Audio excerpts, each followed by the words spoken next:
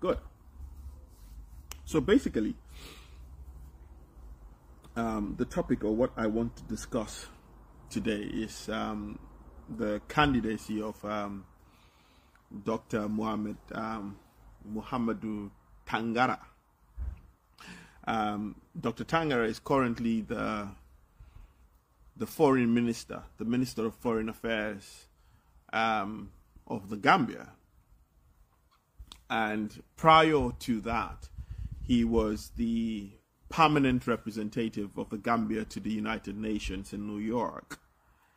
And before that as well, I think he was um, he was he was foreign minister um, um, in the Gambia under um, the the past dispensation of um, Yahya Jammeh. I believe he was a lecturer at the University of the Gambia as well.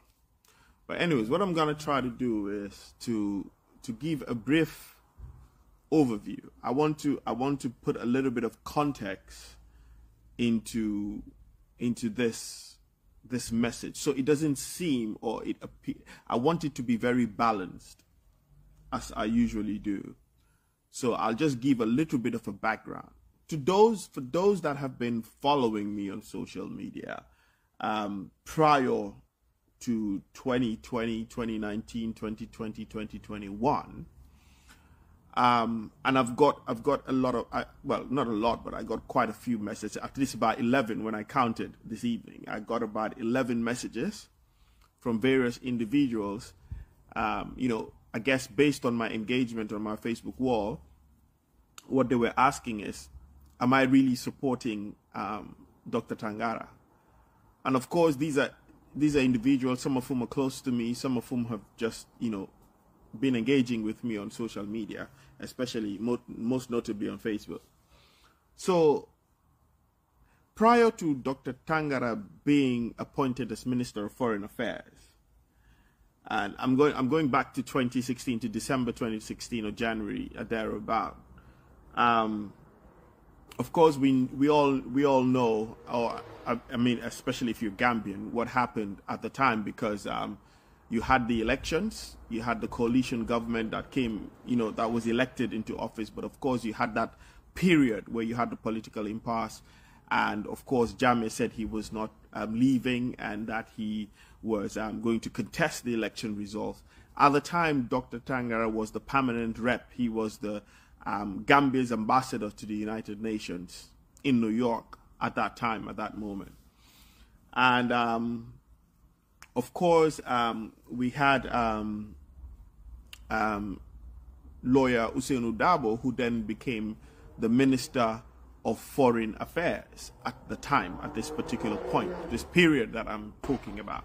Now, I'm going to give a bit of a historical concept to just explain why, when I speak on Dr. Tangara or I speak on my opinion of, of him running um, or showing showing interest and running for the position of Secretary Generalship of the Commonwealth, that my position would be devoid of sentiments, emotions, or um, political patronage, or even individual relationship. Now, I worked at the foreign ministry, and of course, for those that are aware of what happened um, with some, you know, nonsensical and rubbish allegations, Dr. Tangara was then the foreign minister because lawyer Darboe at that point, and this was in 20, I'm talking about the period 20, 2018, around about August, July, August 2018 to, to, to let's say 20, no, say August 2018 to let's say um, to June 2019. At that time, um, Fatuma, Fat, Fatoumata Tambajang, who was then the minister, who was then the vice president, was fired by, by President Barrow. Or should I say at that time, I don't know if it was still the coalition government, I should say, was fired. And, and Lawyer Darboe was appointed as vice president at this time, at this period. Now, when Dr. Tangara came to to the Gambia, he arrived somewhat around August, August or end of July, end of July, August of 2018. And one morning I went to work and I was informed by the then permanent secretary, who is now the ambassador of the Gambia in Paris, in France, to France, um, Ibrahim Kamara, that um, that Dr. Tangara had asked, who was then the minister, who had just assumed um, duties, had asked that I should hand over my official vehicle back to to the ministry. And when I asked the then permanent secretary Ibrahim um, Kamara, he said to me that as far as he was concerned, someone in the ministry had informed Dr. Tangara that I had two official cars that were assigned to me, which of course was not true. Because what happened was that my official car that was assigned to me had a breakdown. And in the interim, the then director of um, the director general of protocol at the time allowed me to use this other vehicle whilst I decided to take the the my official vehicle that was assigned to me to the mechanic garage to get it fixed. But Dr. Tangara had just returned, and of course, from what the then permanent secretary said to me was that Dr. Tangara had asked that they should request that I returned the vehicle. So when he said that to me, I said, I said to him, I said, but why would Dr. Tangara not not approach me or ask or try to verify if that's the case. I said the other vehicle is with the mechanic at the moment, but notwithstanding, I owned, I had my personal, ve- I had my own personal vehicle at the time. So I was like, you know what? I, w- I owned my vehicle before I was even working in the foreign ministry. So I have a car to use. So I said, that's not a problem. So I, of course, I returned, I returned the vehicle. So that was the first encounter I had as me Dr. Tangara, being my boss at the foreign ministry, never spoke, never went to him to get, you know, to ask or anything, but that this is what I was told. And of course, I returned the vehicle and I left it at that. Now, during this period in 2018, we had the UN General Assembly that was that was supposed to take place in New York in August, September, September thereabout, in September, in New York. So I was the designated official at the Ministry of Foreign Affairs that was responsible basically in liaising with the with the American embassy and liaising with the State House Office of the President to coordinate the representation of of of um, um, government officials attending the UNGA meeting. Because I was I was the desk officer also under my purview, um, I was responsible for um, the the American division because in the foreign ministry, the the directors, permanent secretaries were um, had divisions that were under them. So you had the Asia division, you had Africa, you had um, I think Eastern. I, I can't remember the various um, designations, but definitely I was responsible for the American division and of course for Gambians, diasporan Gambians abroad. So these was on these were under um, um, my um, they were part of my portfolio per se. So I was really basically coordinating with my team, you know, the arrangements and logistics. I was working with the protocol department, was working with the um, the American embassy with the then ambassador and deputy ambassador at the time, and then liaising with um, with State House to to to actually galvanize and you know work on on on, on you know various thematic areas that where um, the Gambia would take part in, and we're also working on the representation, the government officials that were going to attend this meeting. I was also responsible of, you know, to help secure their visas and stuff like that. Even though it was the protocol department that would do that, but I was basically the coordinator of it as the as the head of the American division. Now I did this, and this was like these were. I mean, if you understand or get, have an idea on how the, the how government works, how the foreign ministry works. Um, so these were ongoing engagements that took a few months preparing for this, and we had we had the list, the, de- the the delegation list that came from the office of the president. Of course, we had the list of officials within in the foreign ministry that that would attend um, the meeting in New York. And basically, at the time, it was standard practice that the official that was responsible for arranging and for you know coordinating the activities of of the UNG of Gambia's participation at the UNGA, of course, liaising with the, the permanent mission in New York, the embassy in Washington, and everything that it would it would it would it would be common sense you would assume it's common sense for that designated official to be part of the government delegation to the to the UN so that was done of course um, at the time um, the head at the head or the permanent secretary had um, we had you know we sat down as a team we had the names of all the officials that would take part.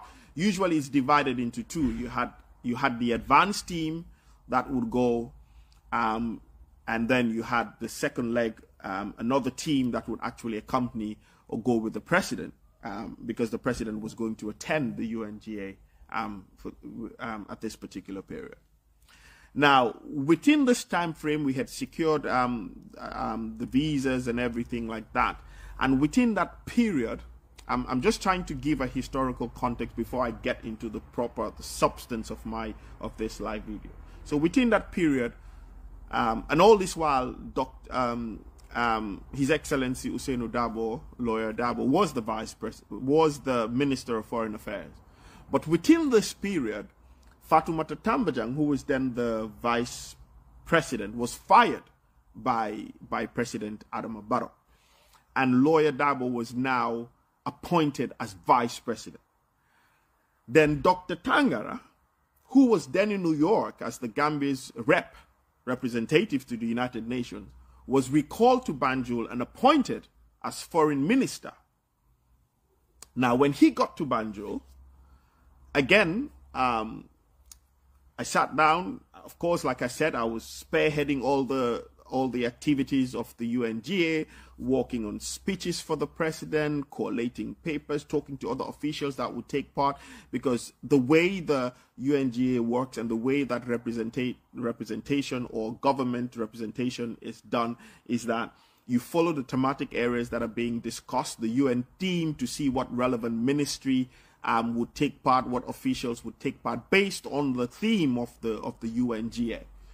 So as I was doing all this, lazing, walking between office of the president, state house, and the foreign ministry, and that um, the same, um, I was called into my boss called me into the office and said to me in fact in fact when dr tangara came we met and we you know we had we had a few sessions in his office as the as the as the as the the, the minister of foreign affairs. He had just returned he had just come back and was appointed. So we had a few, I, I remember having a series of meetings with him um, where I was coordinating these activities. But all of a sudden, I got a, I got a message from my boss who called me into his office to say that um, Dr. Tangara had asked that my name be struck off the list of Gambia's um, delegation to the UN. So I, am bringing a bit of a context here. I'm not sure you would get you would you're following me, but I've raised two issues. One was when I was informed that Dr. Tangara had said that my official vehicle should be taken away from me and that I should surrender it back to the ministry. And of course, like I said, no explanation. I never spoke to Dr. Tangara about it up to this day.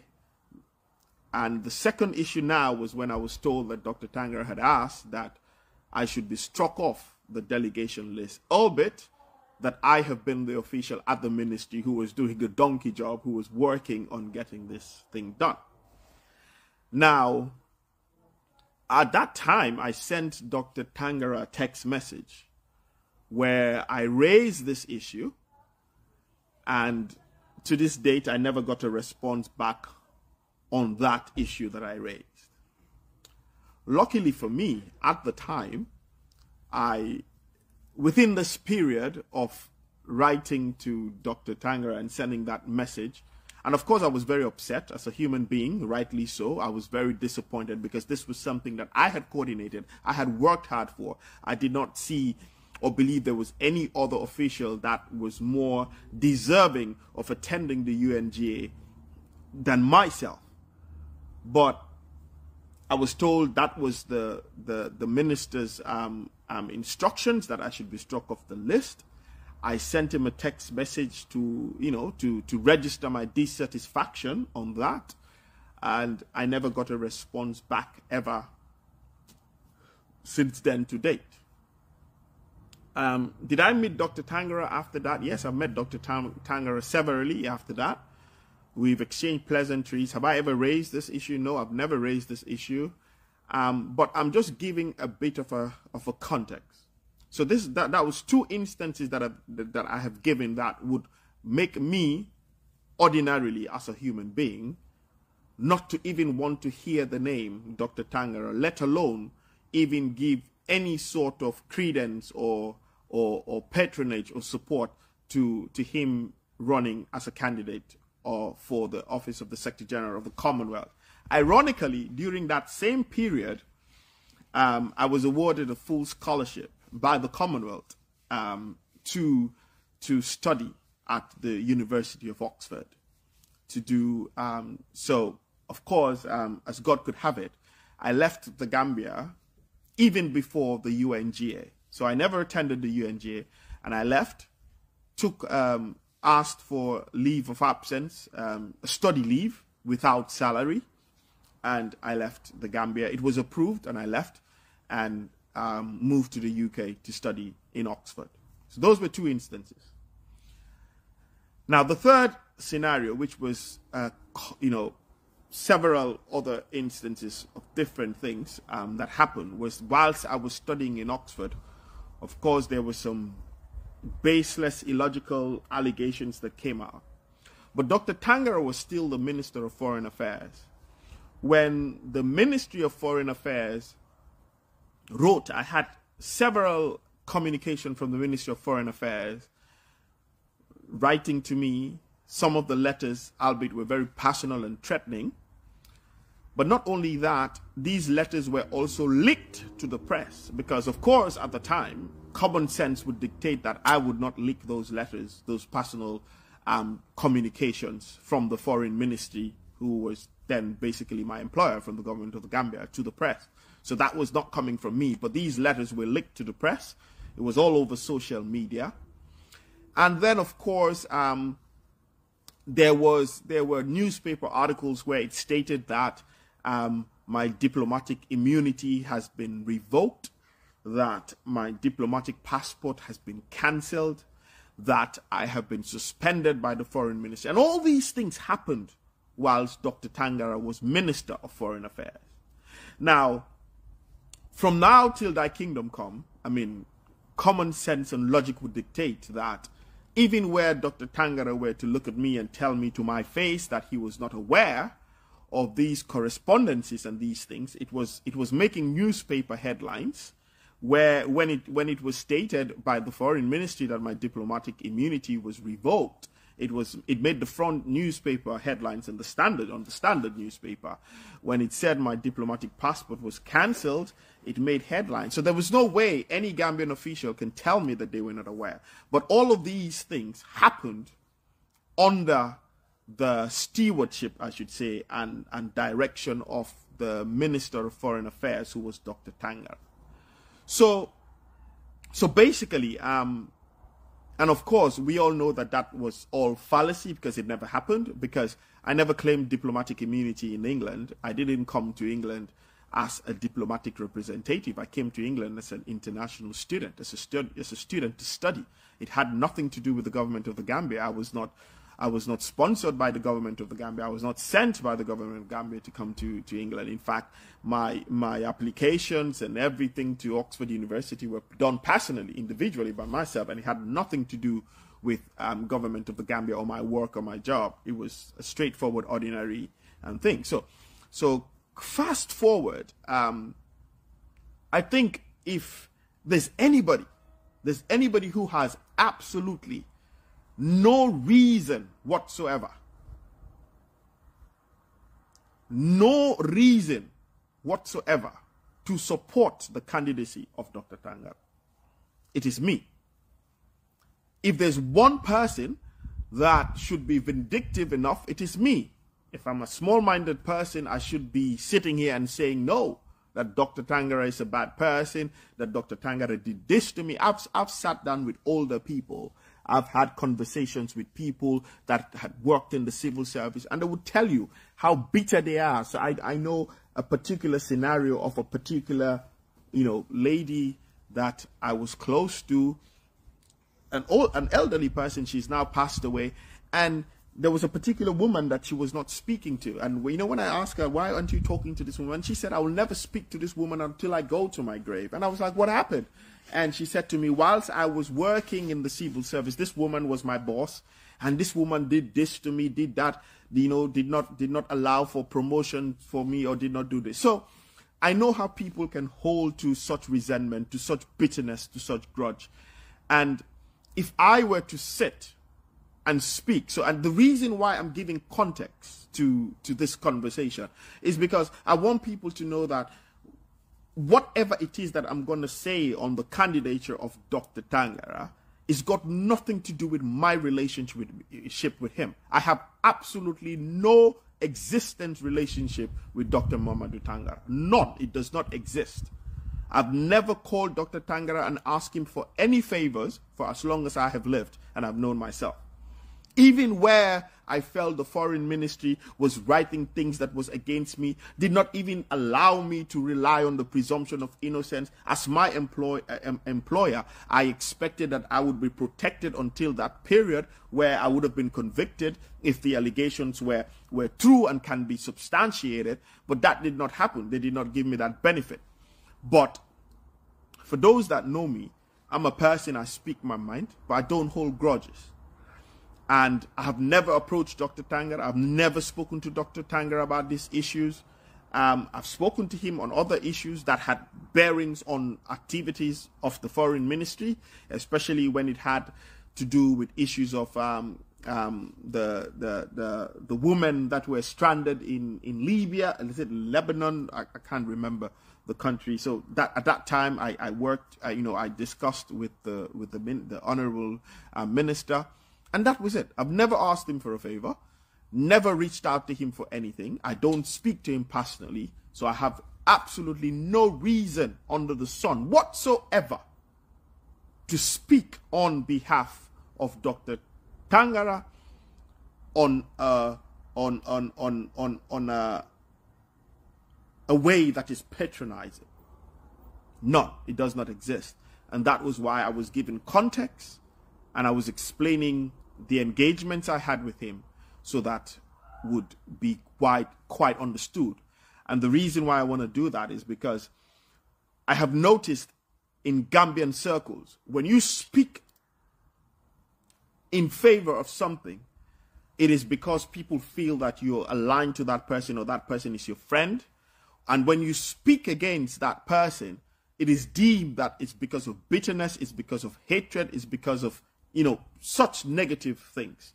So I'm saying, and that's why I was building a context that ordinarily, with all the scenarios that I had given, the last, maybe, maybe, and I've said this to my man, I've said maybe it wasn't true what was said to me, that was said that it was Dr. Tangara that said that. Maybe it wasn't true.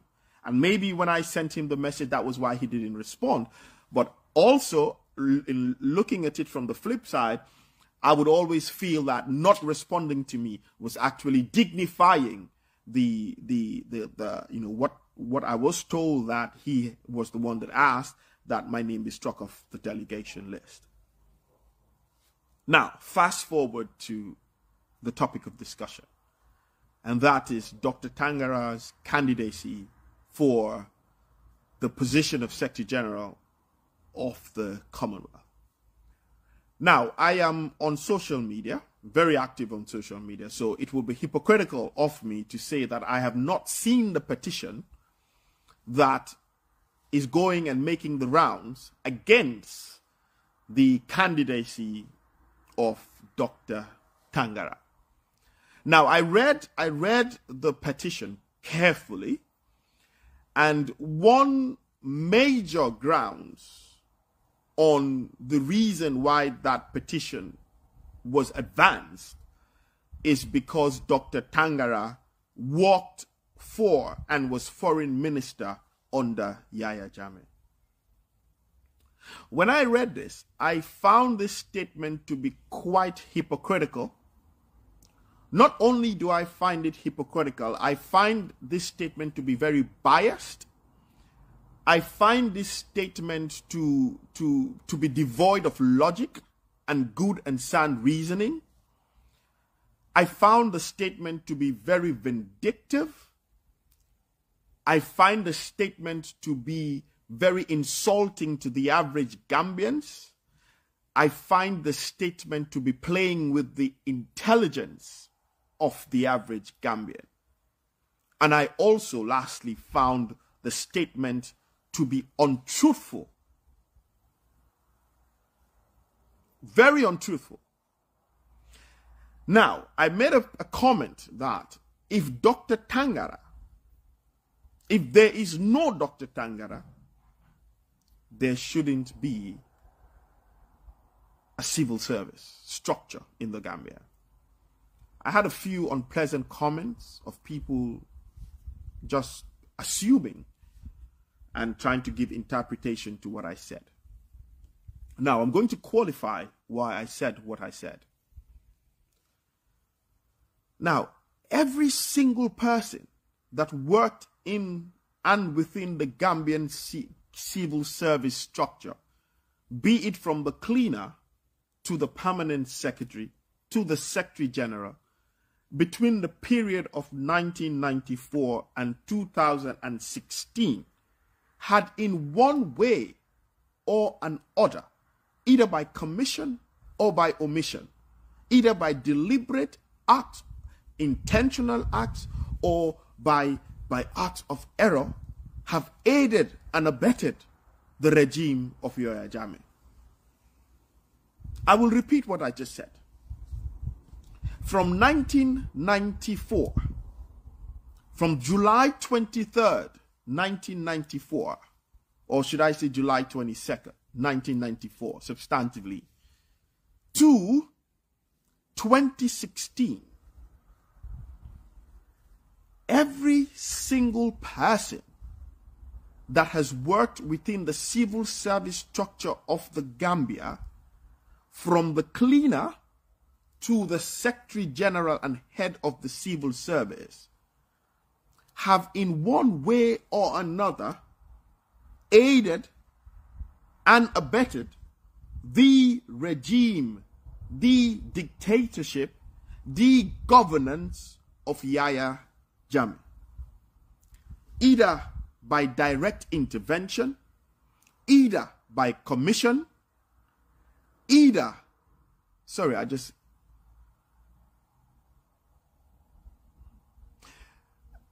okay, I just read a comment from Momodu. He said, You should tell us why you think he's a better candidate.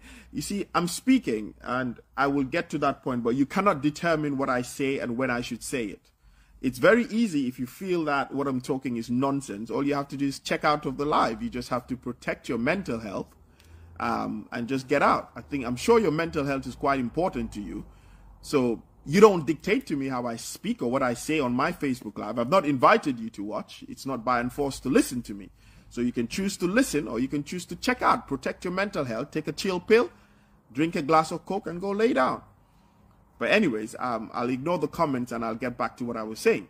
That every single person that worked within the civil service either by omission, commission, either by direct intervention, either either either deliberately or in, in, unintentionally have aided and abetted the, the, the, the Jammeh regime.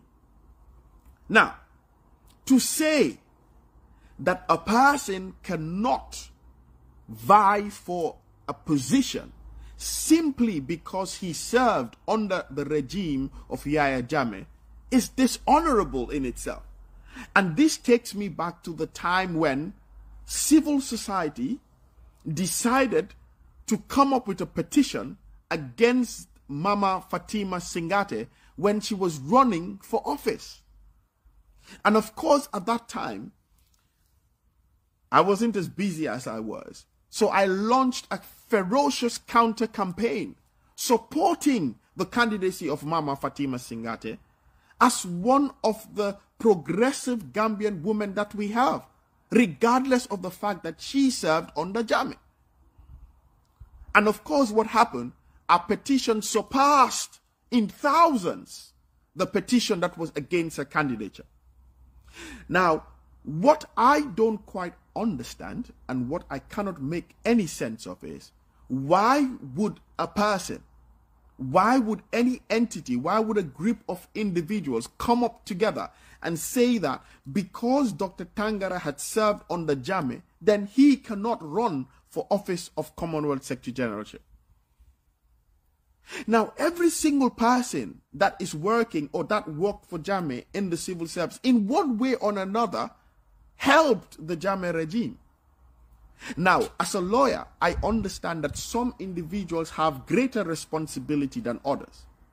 But having a greater responsibility than another person does not take away the, the, the, substantive fact that there is responsibility. Just because a person has the greatest responsibility and a person has least responsibility does not mean that they do not have responsibility at all. Now, what people don't also understand is that a few weeks ago, or a few days ago, I think it was just yesterday or day before yesterday, Neneh MacDouall-Gaye was elected as chairperson of the Rights to Information Commission, if that's what it's called. This was a person who served not only as foreign minister, not only as foreign minister, he served as an ambassador, he served as a minister, but he, but she, Neneh MacDouall-Gaye, was just sworn in and elected as chairman and appointed as chairman of this commission. Now, to me, it devoids logic why would there not be a petition against Neneh MacDouall-Gaye, who also served as foreign minister under Yahya Jammeh, but would you would see the same group of individuals celebrating the fact that there is a, a, an established commission that would allow Gambians to have access to information. But the same personality, the same entity that is chair of this commission is a person who worked in Jammeh's cabinet, took instructions from Jammeh, and was also a foreign minister under Jammeh's regime. What would be the significant difference between Neneh MacDouall-Gaye and Dr. Mamadou Tangara? The problem that I have in Gambia is the pick and choosing of who to support and who to remain silent about. That is dishonesty in itself. We are all celebrating Neneh MacDouall-Gaye being appointed. We all celebrated when Dr. Sidat Jobe was appointed, but Dr. Sidat Jobe served as foreign minister under Jammeh, even if it is a day. Now, let me go back. Let me leave this and go back. Dr. Tangara. And I saw a lot of people, especially people in my UDP family. And this is this is where I sometimes find things very problematic with regards to my political leanings. Because sometimes it is seen to my mind that because you are an opposition and because you're on the other side, you should therefore condemn every action of the government, irrespective of what it is. Now, when Dr. Tangara was appointed as Minister of Foreign Affairs, there was no division between UDP and President Barrow. I will repeat again what I have just said. When Dr. Tangara was appointed as Minister of Foreign Affairs in 2018, there was not a visible fallout between the United Democratic Party and President Barrow. It was at a time when every single individual believed that that coalition government was just semantics and that it was actually a UDP government. So, in all honesty and in all sincerity, when Dr. when Dr. Mamadou Tangara was elected as Minister of Foreign Affairs, it was at a time when Lawyer Darboe was part of government. It was at a time when Lawyer Darboe was was very okay and very cool with Jammeh. So, in all honesty, when Dr. Tangara was being elected as foreign minister at the time, Lawyer Darboe did not oppose, and Lawyer Darboe did not feel that Dr. Tangara was not a good fit to serve as foreign minister because he has served under Yahya Jammeh. Now, when you had the coalition government, when the coalition government came into being, when there was no discord, when there was no disunity, it was at that time that Dr. Tangara was seen as the most fitting person to be elected as foreign minister of the Gambia. And he was recalled from New York to come to Banjul. There was not a single dissenting voice there was not a single petition against Dr. Tangara becoming um, president, um, um, Minister of Foreign Affairs by any entity, by any civil, civil society organization. And these civil society organizations were thriving in 2018. It was at a time that they were celebrating the democratic dispensation of President Barrow. And not one single person saw the need to come up with a petition, to come up with a protest, to stand at the junction, to apply to the Inspector General of Police for a permit to protest the appointment of Dr. Tangara as Minister of Foreign Affairs. So if you cannot protest at that time, if you did not see what was wrong with Dr. Tangara's appointment at that time, when everything was beautiful between you and Barrow, it is dishonesty. It is dishonesty of the tallest order to now see that Dr. Tangara is not fit to be Secretary General of the Commonwealth because you are no longer aligning with President Barrow politically. It means you need to check yourself. It means you need to look at yourself. What is it that you stand for? What are your value system? What are your principles? And what do you believe in? Because the same man that you're calling unfit is the same man that you believe was in your cabinet, was serving at your pleasure, and it was the same man that you believe was very competent and the right person for that job.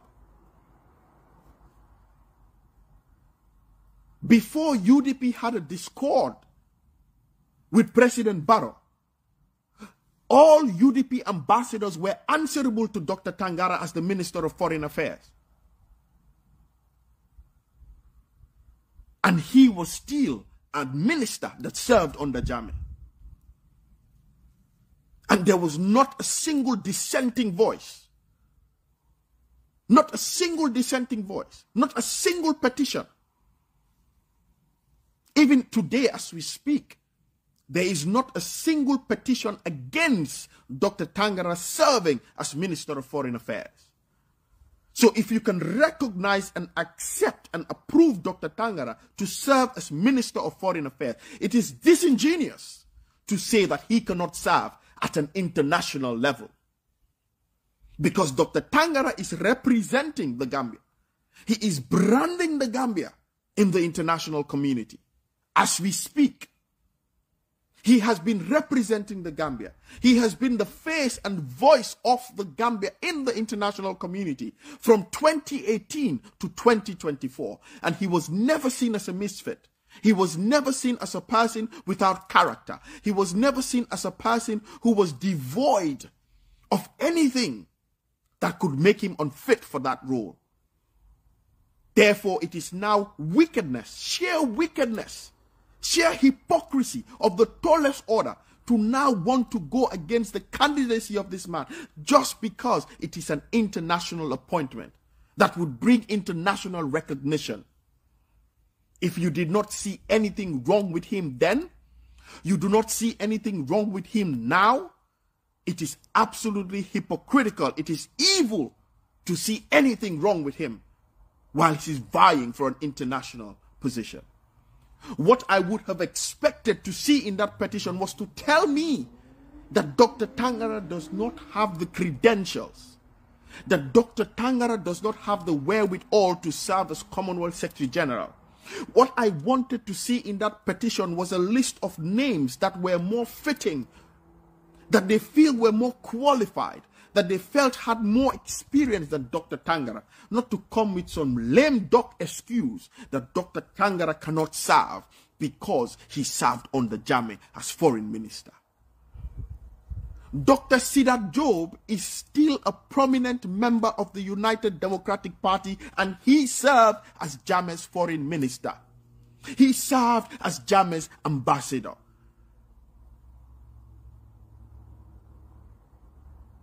In fact, when the coalition government came into existence, forget, don't talk to me, don't mention the bit about he resigned. That is irrelevant. It is irrelevant because the fact that Dr. Sidat Jobe served under Jammeh, even if it was one day, he knew that Jammeh was being branded as a dictator. Yet still, he served under Jammeh, even if it's one week. And you and I both know that Dr. Sidat Jobe never served for one week. He served under Jammeh. But he is still a prominent member of the United Democratic Party. And nobody has called his character into question. Because the truth is, not everybody that served under Jammeh was devoid of character. The decrees. Amie Bensouda the mother of Talib Bensouda, a prominent Gambian, a senior member of the United Democratic Party. In fact, to some extent, it is being branded that she is one of the chief sponsors of the United Democratic Party. She was part of the people who drafted the decree that Yahya Jammeh ruled under. She was part, she was, she served as Attorney General and Minister of Justice, if I'm right, for Jammeh. Does that take away her character? Does that make it that she cannot serve? Amie Bensouda served in the Janneh Commission and she was seen as a good fit. Albeit now people are making accusations and allegations, but it is at a time when things are not going rosy.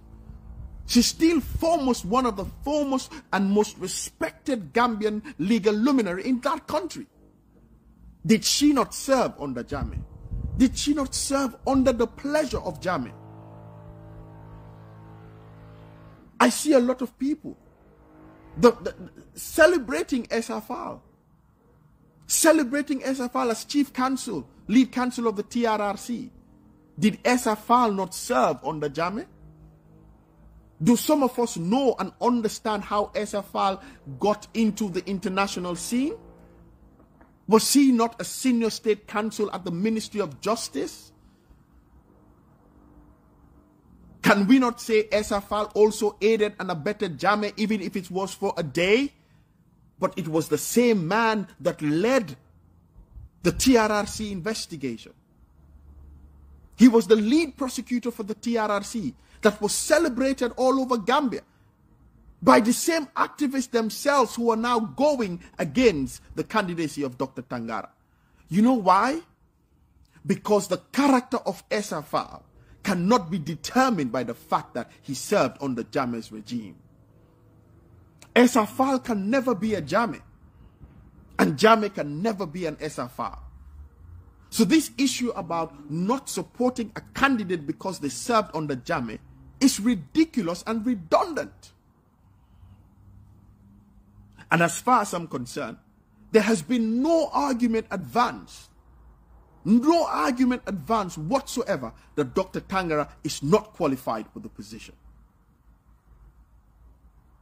If that was advanced, we would look into it. We would, we would accept this, uh, accept it as constructive criticism. But no, you're going against the man, albeit because he served on the Jammeh. But I'll tell you also what most people did not know. What most people do not know, and which I know whilst I was doing my research in Oxford, is that Dr. Tangara single handedly spearheaded the United Nations resolution on Gambia. And I'm saying this today and I'm on record. I'll repeat what I just said for the coalition government to come into being, for President Adama Barrow to be sworn in and assume the leadership of the Gambia, it was because of the tireless intervention of Dr. Mamadou Tangara behind the scenes, behind the scenes, lobbying his, his, his, his colleague, um, um, um, um, um, rep, reps at the United Nations in New York. Having sleepless nights, and doing everything it takes to ensure that the issue of Gambia was tabled at the UNGA. He, Dr. Tangara, did that. So some of the freedom that you are enjoying in Gambia today, regardless of the fact that he served Jammeh, he was very instrumental in ensuring that a resolution on the issue of Gambia was passed, which brought about the ECOWAS agreement. The UN ECOWAS agreement which you can find on social media, you can find on the UN website, that allowed for President Barrow, for President Jammeh to leave peaceably and go to Equatorial Guinea. Dr. Tangara was the then permanent representative of the Gambia to the United Nations. And he actively, actively lobbied his colleagues tires, tirelessly to ensure that we enjoy the dispensation that we have today. So regardless of the fact that he served under Jammeh, just like Nene McDowell Gay, just like Dr. Do, um, Dr. Sidat Jobe. There came a time when Dr. Tangara, like all these other people, knew that it was time to throw in the tower and stand by the people of the Gambia. And again, that is why I said Many of us in that country aided and abetted Jammeh, either by omission or by commission, because some of us were dead graveyard silent when Jammeh was around. We didn't make the noise that we're making today. We did not write the petitions that we are writing today. We did not stand in street corners and carry banners like we're doing today in Gambia. Some of us chose to run away. Some of us chose to run in on the tables and chairs. Some of us chose to be non-existent. So by our omission, we also aided and abetted Jammeh. Maybe some had the greatest responsibility, but all of us at some point aided and abetted Jammeh, even if it's for a day. So yes, there are people that served under Jammeh and when they fell out with Jammeh, yes, they resigned. They left. But it does not negate or take the fact that at some point they answered yes, sir, to Jammeh. At some point they took instructions from Jammeh. Even if it's for an hour, they did. So you cannot disqualify a man. You cannot change the character of a man. You cannot take away the, the qualifications, the experience of a man simply because he served under Jammeh. You cannot. And therefore, the petition, to my mind, is devoid of logic. To my mind, the petition is hypocritical To my mind, the petition holds no water. To my mind, the petition is vindictive because it does not speak on the qualifications of Dr. Tangara assuming this office. So it, it, it, it, it, it, it just basically means that they are now confirming that Dr. Tangara is very qualified to hold such a position. The Gambia, the average Gambian should stop being sohor.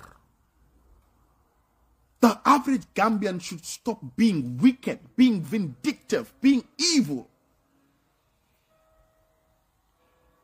You can disregard things. You can speak against things, but you must be honest and your principles must not sway from day to day. Your values cannot move from day to day, shifting like the English weather. It cannot. If Dr. Tangara is not fit to be UN um, um, Commonwealth Secretary General, then Neneh MacDouall-Gaye is not fit to be the chairperson of the Access to Information Commission. Then all other people that have served under Jammeh are not fit to hold any particular position in that country. Then, and this goes back to my phrase, that if there is no Dr. Tangara, then there is no one within the civil service structure that served between 1994 and 2017 that can stand in that country, dissolve the entire civil service. Because one way or another, they all abetted and, and aided Jammeh. Did Yahya Jammeh ever go and, and, and kill somebody? Is there anything that shows that Jammeh actually killed a person himself? No. All the acts of Jammeh were done through Gambians. In fact, there is no tangible evidence that has been put forward to show that yes, it was Jammeh that did this or that or that or that. There is none. It's always and still is hearsay. He said, she said, power from above, uh, instruction from above. But there is not one single person that can say, I saw Jammeh do this. It was Jammeh that did this. So so the whole government machinery aided dictatorship in that country. Civil society aided dictatorship in that country. I dare say even the Bar Association at some point aided dictatorship in that country if what we want to do is to say that anyone that associates with Jammeh is bad and devoid of character.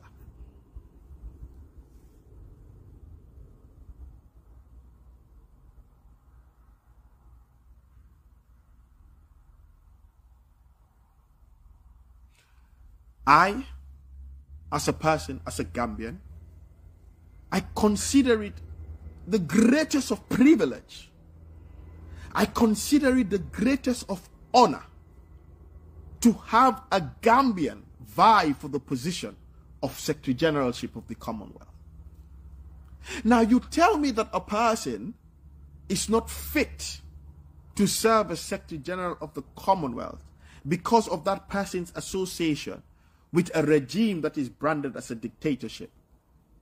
But the very establishment of the Commonwealth, the very common denominator that brings about the Commonwealth, is based on what? Imperialism, colonialism, slavery, and all that goes with it. That is the common denominator of the Commonwealth. That these were people that were suppressed by the United Kingdom that these were people that one day at some point were under the British government, were serving at the pleasure of the British government. That is what brings the Commonwealth together. So you cannot write to the Commonwealth to talk about dictatorship to talk about a person that has been associated with dictatorship that cannot serve as secretary general, but the very establishment of the Commonwealth, whatever brings the objective, the common denominator that brings Commonwealth nations together, what they share is a common master that subjected them and made them subjects. So attack the very foundations of the Commonwealth. Don't write to the Commonwealth. Because the Commonwealth is not devoid of dictatorial tendencies.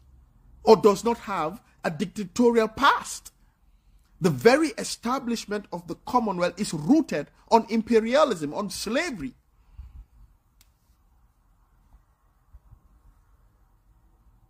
That is what it is. It's very ironical that you're going against a person that's running as Secretary General of the Commonwealth, but you're not asking yourself, what, how did the Commonwealth come about? These are people that were subjected to the direction of a superior power that after they have fought in various ways to be independent under the disguise of neo-colonialism, they have brought them all together to share a common wealth. What is common about the wealth that they share? What is common about the wealth that the United Kingdom shares with members of the Commonwealth? How common is that wealth?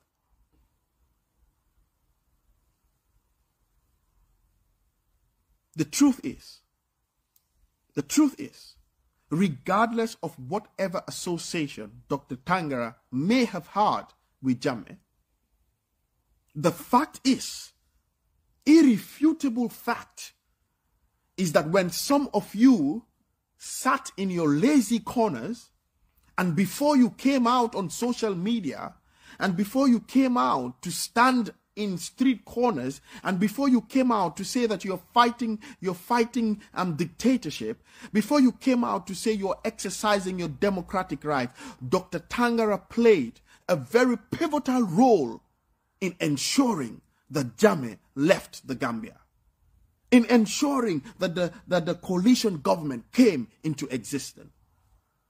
I can also tell you authoritatively because I have seen files, I have seen correspondences, that Dr. Tangara was one bridge, one voice, one person, one individual that was bridging the gap between the Gambia and the United Nations, between the Gambia and ECOWAS, between the Gambia and the African Union, between the Gambia and its counterparts in the international community.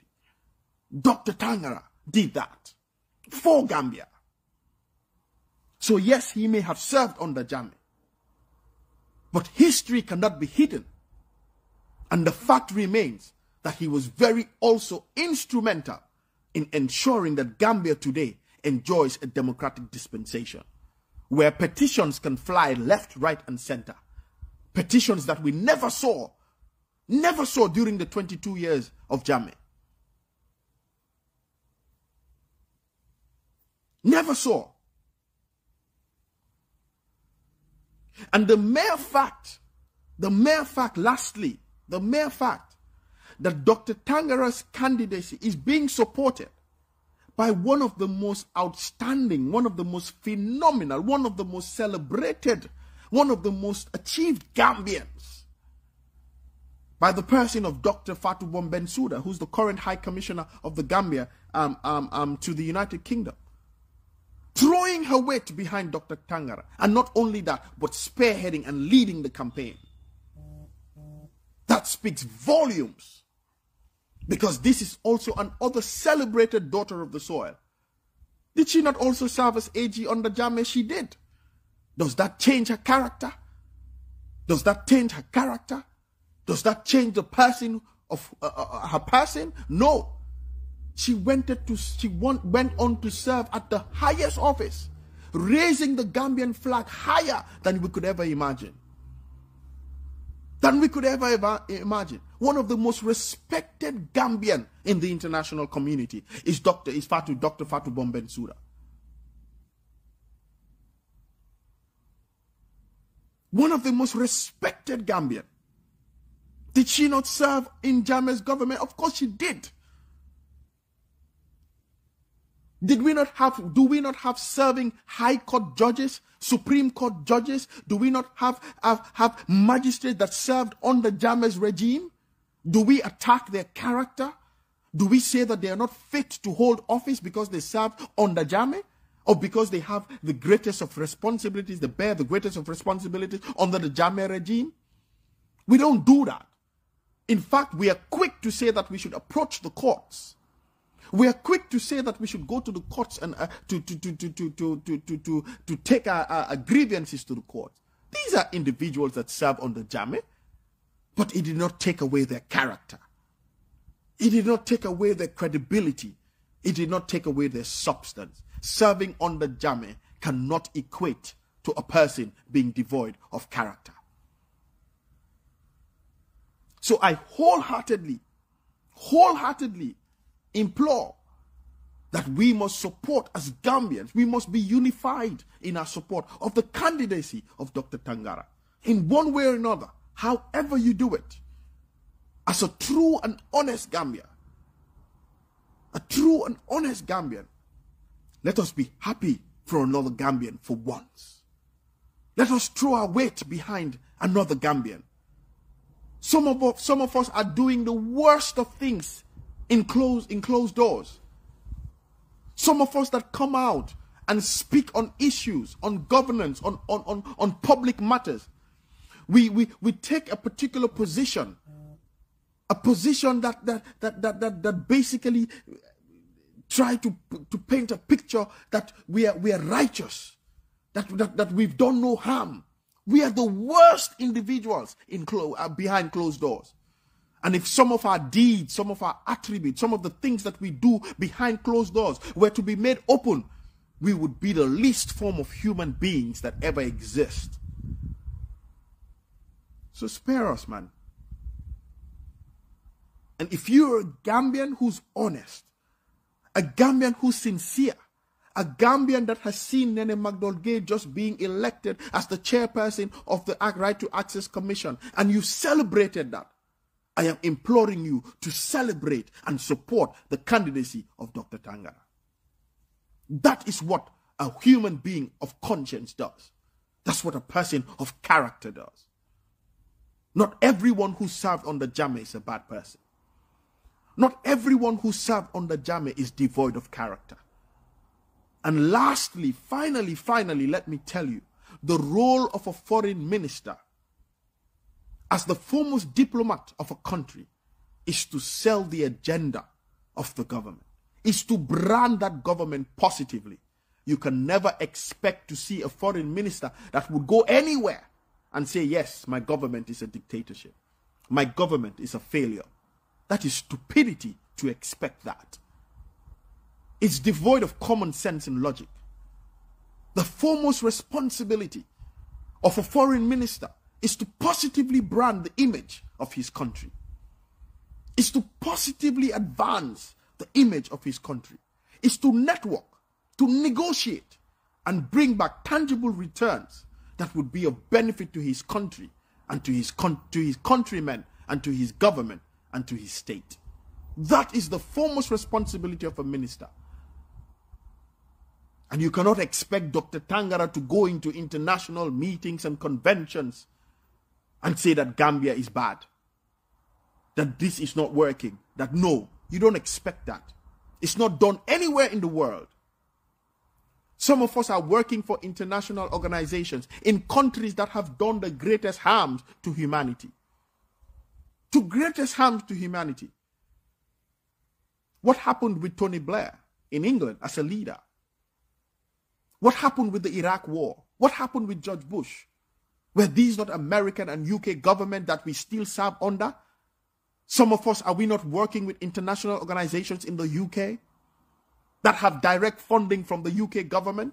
Do we say we will not associate with them because they went into Iraq and over 100,000 innocent lives of women and children?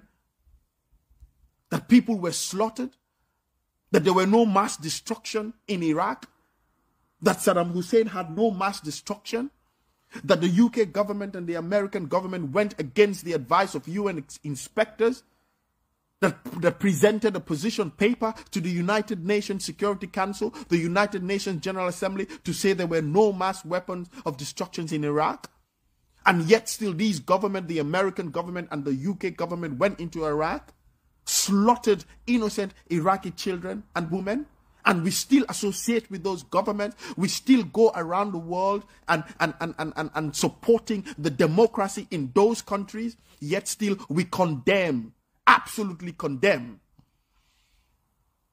um, um, the association of, of, of, of, of Dr. Tangara.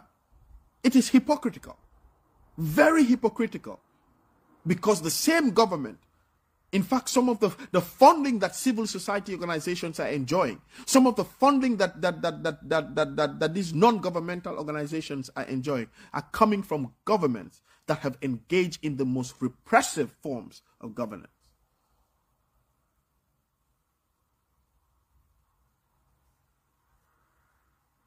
Thank you very much.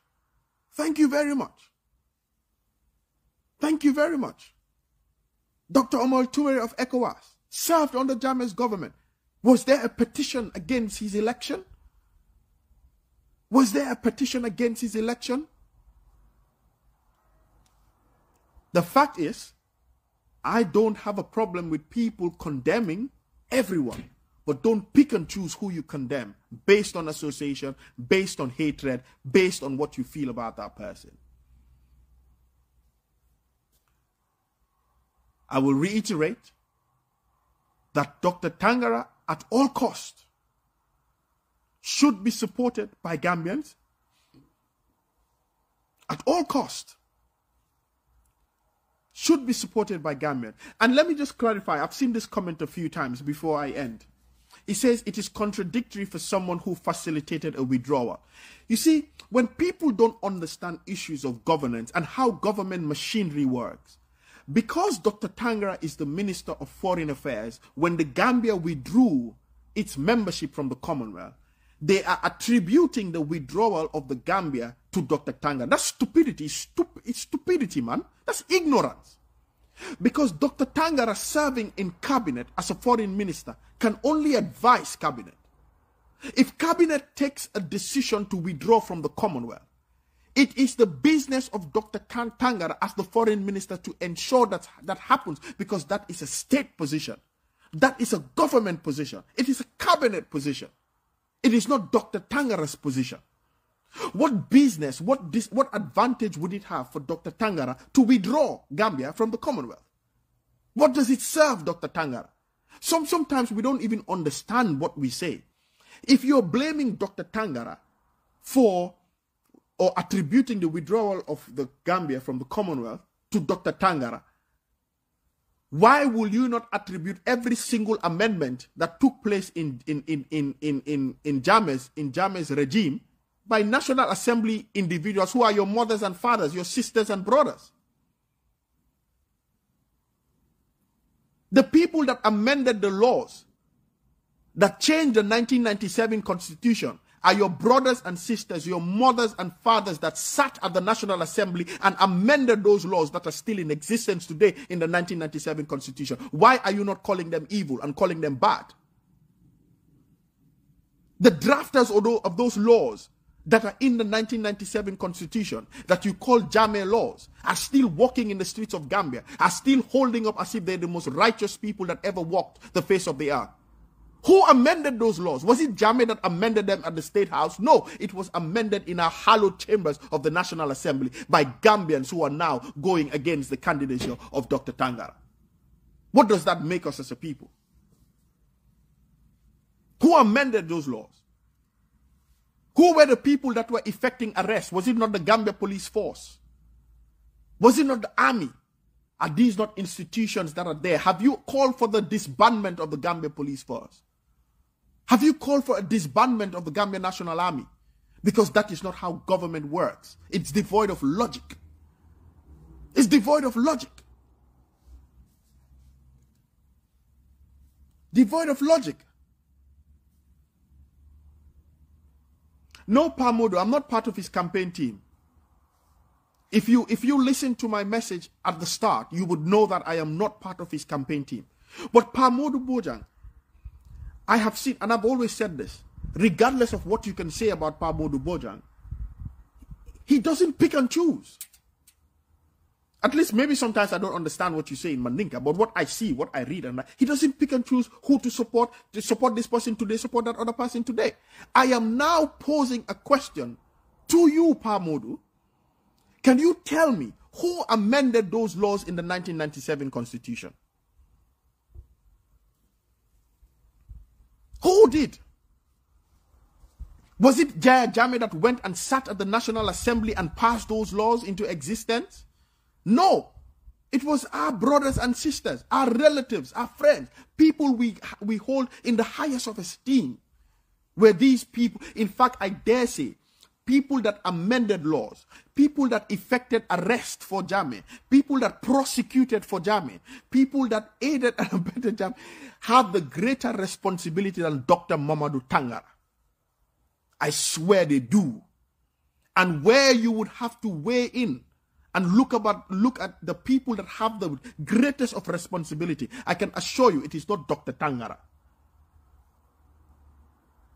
It is not Dr. Tangara. Did those individuals, Amadu, not have personal values as well when they passed and amended those laws? When the police in Gambia were effecting arrests, did they not have values?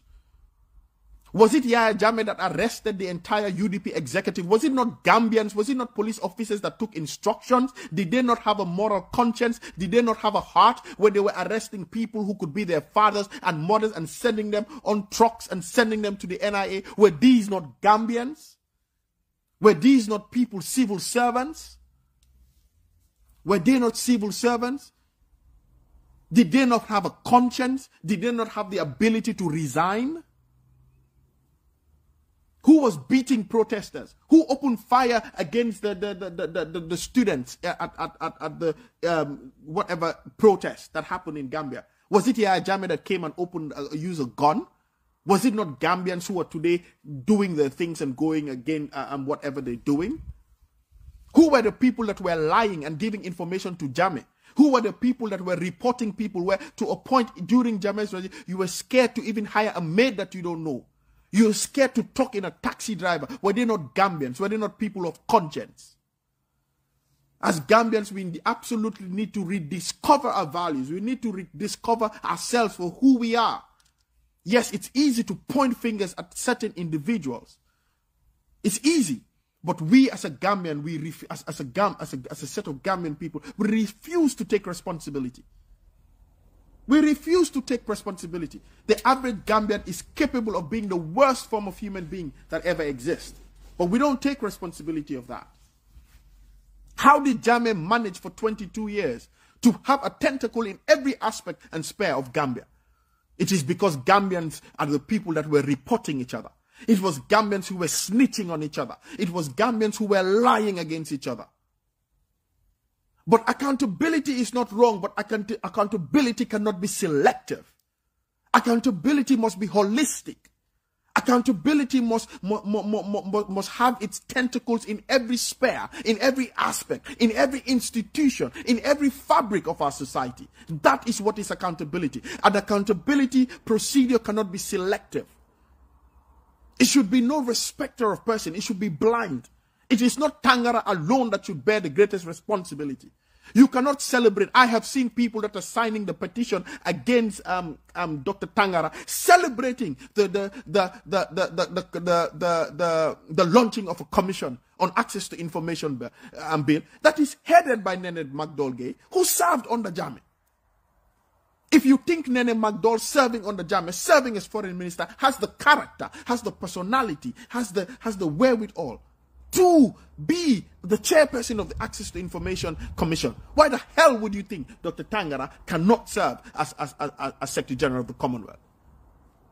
That is not accountability. That is selective accountability. That is hatredness. That's vindictiveness.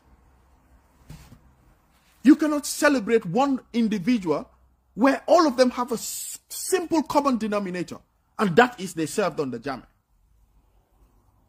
The fact is, Dr. Tangara is more than qualified to be Secretary General of the Commonwealth.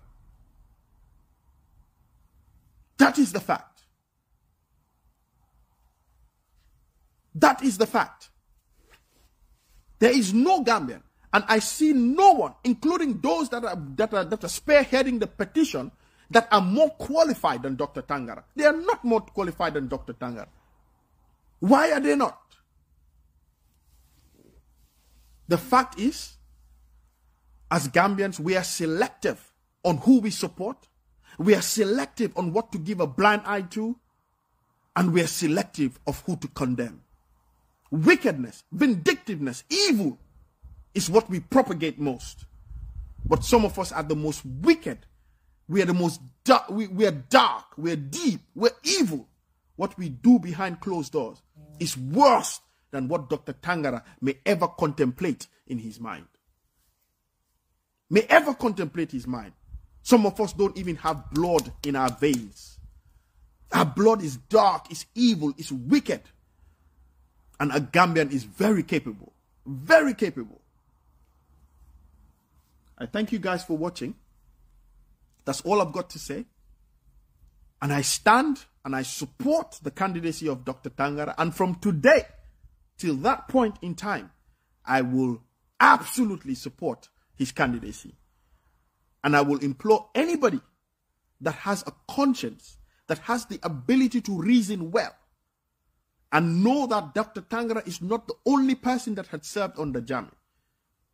Your relatives who are in the Gambia police force served on the Jammeh. They took instruction from Jammeh. They arrested people from Jammeh, uh, um, um, under instruction from Jammeh. But these are people that we see as our brothers and sisters. We still celebrate them. We still celebrate them. We don't believe they have done anything. We just believe they were serving.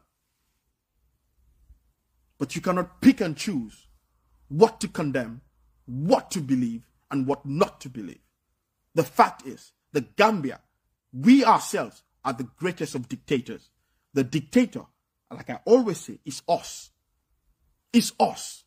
Because some of us, if we had the ability or we had the power that Jammeh had, we would have done the worst of things.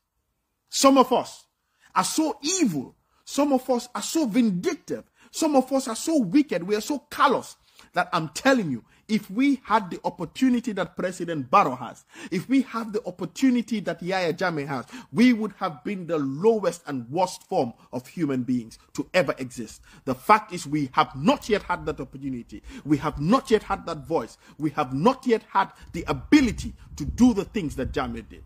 I thank you guys for joining me and I wish you all the best.